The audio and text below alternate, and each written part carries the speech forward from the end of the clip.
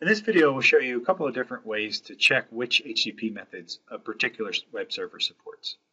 Uh, the first way we'll show you is using Fiddler. So we'll set up an automatic breakpoint um, before the request is sent to the server. And from our browser, we'll manually go to foundstone.com. So here we can see that our request was trapped and that our browser made a, a GET request here. If we jump over to the raw inspector, um, this will allow us to actually change whatever request was made or whatever uh, method was, was used to make the request. So here we can change it to just trace as an example and then tell Fiddler to run to completion. So we'll get a response back from the server. And if we jump down to the raw response, we can see that we get a 501 not implemented, meaning that the server doesn't support it. We can also use a different function of Fiddler to essentially accomplish the same task. Um, the benefit of using the Composer tab is that you don't actually have to trap the request by the browser. So here we can literally just choose from this dropdown what different methods that we want to check, and we can manually iterate through each one of them and see which ones are, are supported. So here we pick the trace, uh, trace method again, and we'll just define our website that we'll test here. So again, we'll use foundstone.com.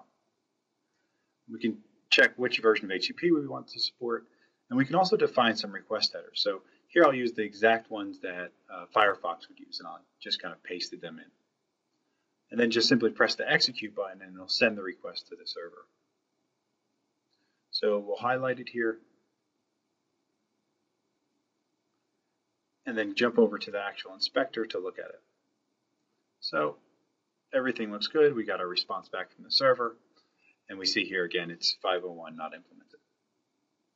The final method we'll show you is kind of the traditional method of doing this uh, straight from the Linux command prompt. You can use netcat, or in this uh, case, we'll use the OpenSSL utility and create a direct connection to the port which the web server is listening on.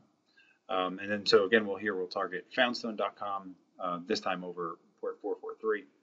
And this is going to establish a direct connection to the server and will send the actual HTTP request directly to the server here. So you can see, again, we're sending just a trace request and we filled in all of our host headers. Uh, and then we'll press enter a couple of times to actually send it. And so we'll get the raw response back from the server. And if we scroll up in its response headers, we can see again, it's not implemented. All right, that's everything. Thanks for watching, guys. See you later.